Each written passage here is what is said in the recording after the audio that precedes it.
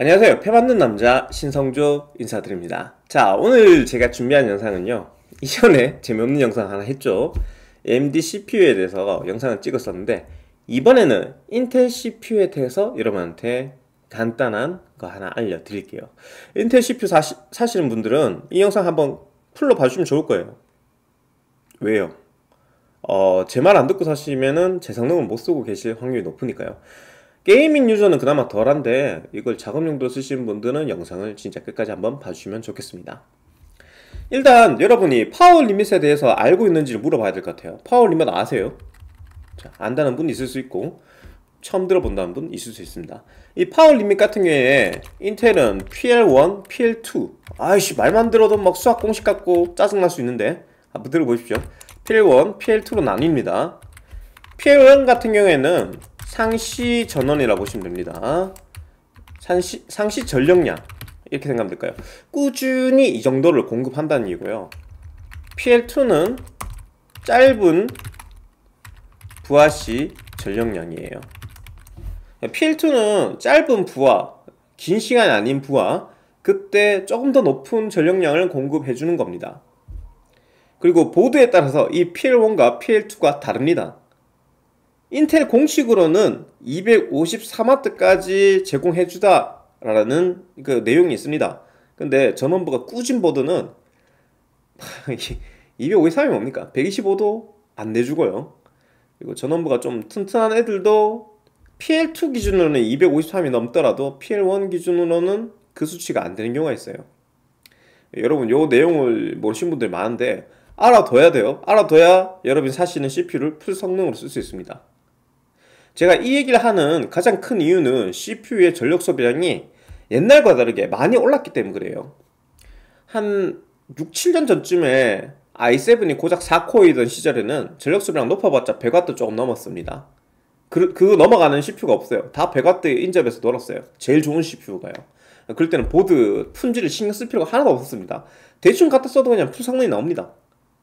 왜냐하면 제일 싸구려 보드도 보통 95W까지는 세팅이 돼 있기 때문에요. 거의 full 성능이 나와서 무시해도 됐는데 요새 나오는 CPU들 전력 소비량 아세요? 14900K는 300W가 넘어갑니다. Cinebench 같은 거 돌리고 하드웨어 info로 여러분이 쉽게 확인할 수 있습니다. 300W가 넘어가요. 13900K도 300W 정도 씁니다. 14700K도 300W 가까이 씁니다. 이 셋은 그냥 300W 가까이 써요. 13700K가 200W 중반이고 i5인 13,600이나 14,600도 100W 중반 이상 습니다 그러니까 싸구려 보드는 95W, 125W 세팅이라고 했잖아요. 그런 세팅의 보드 쓰시면은 여기에 적혀있는 K 버전은 제 성능 나온 게 한 개도 없다 생각하시면 돼요.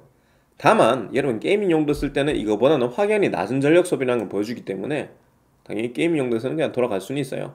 근데 이 gaming 용도라는 게 게임만 돌렸을 때 기준이기 때문에 게임 돌리면서 스팀 업데이트를 한다든지 게임 돌리면서 뭐 파일을 어, 좋은 동영상을 다운받고 있거나 아니면 게임을 두 개, 세 개를 실행시키거나 그러면은 전력 소비량이 급격히 증가하기 때문에 아무래도 게임만 한다 치더라도 보드의 전력 공급량은 매우 중요한 겁니다. 그래서 이 power limit을 확인을 해야 됩니다. 근데 power limit량을 메인보드 제조사는 공개를 해주지 않습니다. 아, 이거 좀 아쉬운 얘기인데 일부 제품이 공개가 돼 있긴 해요. 너무 낮은 애들은 가끔 우리 125W까지 커버 쳐요라고 적어 놓기도 하던데 B보드쯤 되면은 보통 안 적어져요. 그러니까 여러분 저 전원부만 보고 지대심작으로 삽니다. 전원부 전원부가 막 10페이지, 14페이지다. 어, 괜찮을 것 같네 하고 샀잖아요. 근데 그게 N채널 모스펫이면은 생각보다 전력 공급이 높지 않을 수도 있고 특정 회사는 예지락 같은데 그 회사는 BFB 기능이라는 걸 집어넣어서 오히려 더 낮은 전력 공급량을 기본 세팅으로 잡아놓는 경우가 있어요. 자기 전원부에 비해서. 왜 그러는지 이해가 안 가는데. 하여튼 다양한 이유로 이 power limit을 전부 다 설정을 달리 해놔요. PL2는 무제한이고 혹은 PL2는 300이고 PL1은 253 보통 그 인텔에서 권장하는 그 수준을 맞춰놓은 경우도 있고 PL2를 253으로 두고 PL1을 125 이렇게 두는 경우도 있다고요. 아 진짜 그래요? 한번 좀 보여주면 안 돼요? 저도 궁금한데 라고 하실까봐 제가 스크린샷을 봐왔습니다 이거 AORUS Elite입니다 AORUS Elite 어엘인데 자 PL2 수치가 어떻게 되어 있습니까? PL2는 4095로 되어 있습니다 4095는 그 full로 풀어두면 들어가는 자동값이라 보시면 되는데 실제로 4000W만큼 CPU에 공급할 수 있다는 얘기는 아니고 무제한급이 4095라 생각하면 됩니다. 그 이상으로 안 풀리거든요. 그래서 PL2 전력 제한은 4095입니다. 여러분이 어떤 CPU를 집어넣든 AORUS Elite는 짧은 시간 동안은 full 성능을 낸다는 겁니다. 이 짧은 시간은 보드에 따라 다른데 진짜 짧게 한 10초 길게는 2분 가까이 유지되는 보드도 있습니다. 보드 종류에 따라 세팅이 달라요. 저도 뭐 하나하나 다 확인한 건 아니지만 제가 얼추 봤을 때 대부분 경우 1분 내외고 어, 진짜 짧은 애들은 10초 좀 긴 애들은 2분 정도였어요. 그 PL1이 상시라 그랬잖아요. 그러면 1분쯤 지나면은 이 상시 전원 상태로 움직일 텐데 상시 전원은 280이죠. 그러니 무제한인 거랑 280인 거랑 은근히 차이가 좀 있습니다. 다만 대부분 CPU가 full 성능을 내기 위한 전력량이 300W 정도니까 사실상 280이면 거의 full 성능이 나올 겁니다 시네벤치 돌렸을 때 점수가 5% 내외 정도밖에 안 까질 겁니다. 그것도 한 10분짜리 돌려야 그 정도 까지고 한 바퀴 돌리는데 30 몇 초밖에 안 걸릴 거거든요. i7, i9 정도면. 어, 그런 경우는 점수가 아예 안 까질 거예요. PL2로 움직이니까. 예, 결국 여러분이 아, 컴퓨터 사고 난 뒤에 시네벤치 한 바퀴 떨고 났는데 제 점수 정상인가요? 물어보는 거는 아무짝에 쓸모없는 짓입니다. 왜? PL2 기준으로 돌기 때문에 점수가 높게 나올 수 있거든요 근데 작업한다 그러면은 1분 만에 끝나요? 30초 만에 끝나요? 아니죠 심한 경우에는 2, 30분 돌린 경우도 있죠 저도 영상 편집하고 난 뒤에 1시간, 1시간 반짜리 효과 많이 넣고 자막, 자막 많이 넣고 어, 잘라 붙이기 많이 하고 내, 내보내기 하면 20분씩 걸릴 때 있어요 그러면은 처음에 30초만 풀성능을 돌고 혹은 1분만 풀성능을 돌고 나머지 20분 아니면 30분 이 정도는 좀 더 느린 속도로 돌아가겠죠 그렇기 때문에 실제로 여러분 중요하게 봐야 될 거는 PL2 값이 아니라 PL1 값을 중요하게 봐야 되겠죠. 상시 얼마나 전력을 공급해 줄 수 있나. 이게 중요한 겁니다. 그래서 제가 몇몇 보드에 저 기본값을 확인을 해 봤어요.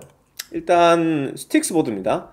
STRIX 보드 여러분 설정 들어가면 있을 거예요. AI Tweak 쪽에 들어가시면 있는데 바이오스. 자 long package long이라고 되어 있죠. 이 long 같은 경우가 상시라 보면 되고 밑에 보면 short이 있습니다. 예, 숏이 PL2고 롱이 PL1입니다. 오토값으로 되어 있는데 오토값이 얼마인지 밑에 표기가 되어 있어요. 오토값이 253이고 4095입니다. 아, 지금 여러분 보고 계신 B760 STRIX G 보드 같은 경우에는 PL2 값은 무제한으로 풀려 있고 PL1 값은 253만 뜹니다. 그래서 PL1이 253이니 저 보드에 i9 13900이나 i7 14700 꽂을 경우에는 full 성능이 나오지 않겠죠. 안 나옵니다. 이건 돌려보시면 될 거예요. 이거를 1분짜리 말고 10분이나 30분짜리로 돌려보세요. 그러면은 B보드에 B STRIX 보드에 i7이나 i9을 꽂았을 때는 최대 점수가 나오지 않을 겁니다 그 까지는 점수 폭이 그리 크지는 않아서 체감을 못할 수도 있는데요. 그 CPU를 완전 무제한 풀리는 다른 보드에 꽂으면 바로 알 수는 있어요. 여튼 아... 제 짐작상으로는 요 두 제품 정도는 한 5% 3% 내외가 까질 것 같고 요 놈은 10% 가까이도 까질 수 있겠네요. 14900K는요. 조금 많이 까질 수도 있겠어요. 14900K 같은 경우에는. 여튼 자 이 B보드에서는 13세대 i7이나 근데 13세대 i7도 약간 성능 떨어질 수 있습니다. 뿔딱 뽑았다 치면은 전력이 20 정도 부족하죠. 예, 약간 성능 떨어질 수 있어요. 아니면은 i5 K 버전은 full 성능 나올 수 있다. 어, 그런 게 확인이 됩니다. 제가 STRIX 말고 몇몇 제품 다 봤는데 이건 AORUS Elite라 그랬죠. MSI 것도 하나 있으면 좋겠죠. MSI 박격포 MAX 여러분 많이 쓰시는 박격포 MAX의 power limit를 한번 확인해 봤습니다 얘도 이렇게 표기되어 있어요. long, short 두 가지로 되어 있죠. long power limit, short power limit. 아까 제가 뭐라 그랬죠? long이 상시고 short이 짧은 시간에 움직이는 PL2다 라고 얘기했습니다. 위에 게 PL1이겠죠. 어, PL2 4096 full입니다. PL1 4096 풀입니다 그 박격포 보드 같은 경우에는 여러분 수냉 장착하고 있다면은 전력 제한이 안 걸립니다 수냉 장착 안 하면 전력 제한 걸려요 공랭 쓰면은 박격포 보드는 기본 설정에서 전력 제한이 걸리는데 여튼 이 정도쯤 되면 그냥 풀로 공급하겠죠. 근데 그 외에 전력 공급량을 그 조절하는 기제가 하나 더 들어가 있어요. CPU current limit로 되어 있죠. 그러니까 CPU 전력 공급량이 512A라고 기본 오토값이 이렇게 정해져 있습니다. 그래서 실제로 CPU의 기본 전압이 1.3V 내외일 테니까 600W 정도만 공급이 됩니다. 4096까지 플레이했다 치더라도 600 와트 정도밖에 공급이 안 된다는 거요. 그렇게 아시면 될 거예요. 어쨌든 박격포는 full로 풀려있어요. 그럼 여기 있는 보드 싹 다 제 성능이 나올 수도 있겠죠. B보드에 넣어서. 근데 B보드는 기본적으로 Z보드 중상급보다는 기본 전압이 조금 높게 나옵니다. 보드 품질 때문에서 그런 경우도 있고 이게 overclock 보드가 아니기 때문에 전압을 좀 더 정밀하게 컨트롤 못해서 그렇습니다. 어, 한두 가지 이유 정도 때문에 기본적으로 CPU 전압이 더 높게 나오거든요. 그래서 똑같은 성능을 낼 수 있다 쳤을 때는 B보드는 Z보드보다 온도가 높을 확률이 높습니다.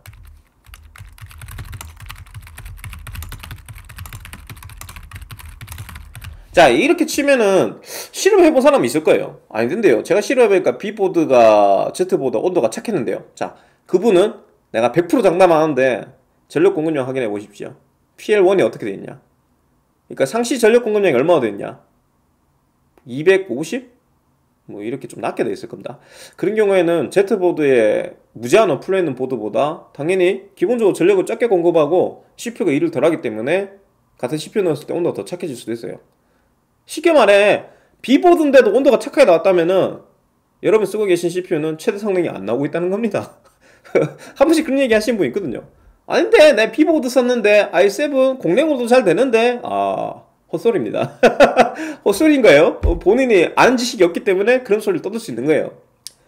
지금 제가 얘기하는 거 알고 계신 분 얼마나 있습니까? 보드에 따라서 방금 전에 봤던 power limit 값이 다른 거. power limit 지금 우리 방금 받는 것만 해도 어떻게 돼 있습니까? OL 280이죠. STRIX 253입니다. 박격포는 무제한이었어요. 박 얘는 무제한 지금 보드 3개 봤는데 3개 다 다성근데요 맞죠? 이거보다 품질 더 따지는 보드는 125도 있다니까요 그, 그런 거는 공룡으로 돌아갈 것 같아요 보통 공랭 쿨러가 180W에서 200W까지도 커버를 치거든요 대장급 쓴다 치면은 그렇기 때문에 만약에 125나 175, 150 이 정도로 세팅되어 있는 보드가 있다면 아, 실제로 봤습니다 175도 봤고 125도 봤어요 그런 보드가 있다면 공랭으로도 i7이 커버가 되겠죠. 대신 그 i7은 멀티 성능이 필요할 때 제 성능이 안 나오겠죠. 다운로드 같은 경우나 아니면 게임 패치, 게임 설치 같은 경우에는 CPU의 자원을 50% 이상 땡겨 쓰는 경우가 많습니다. 당장에 스팀 속도 제한 풀고 다운로드 걸어 보십시오. 여러분 i7 쓰고 있더라도 load율이 4, 50%가 넘어가는 걸 볼 수 있습니다. 심한 경우에는 인텔 진짜 좋은 거 쓰시면 7, 80%도 써요. 다운로드 하나로 그만큼 쓴다고요. 그 게임 로딩이나 게임 설치할 때도 높은 CPU 사용률을 보여줄 겁니다. 그래서 그 시간이 짧든 길든 상관없어요. 어쨌든 여러분은 full 성능을 못 쓰는 경우가 생긴다는 겁니다. 보드 power limit이 낮은 걸 쓴다면요. 그리고 그 보드의 power limit이 얼마인지 회사들이 공개를 해주지 않기 때문에 울며 겨자 먹기로 그냥 중급 이상의 보드를 쓰는 게 안전빵이란 겁니다. 어, 몇푼 싸다고 저는 뭐 조금 부실한 것 같은데 아 그래도 이거 에즈락 게 좀 싼데 하면서 ASRock 거 싹 골랐다든지 아니면은 어 MSI요 뭐 MA 보드 좀 싼 것 같은데 이걸 싹 고른다든지 기가바이트? AORUS Elite 위급이 아닌 그 밑에 있는 이 HD 뭐 이런 애들 있잖아요. 밑에 있는 애들.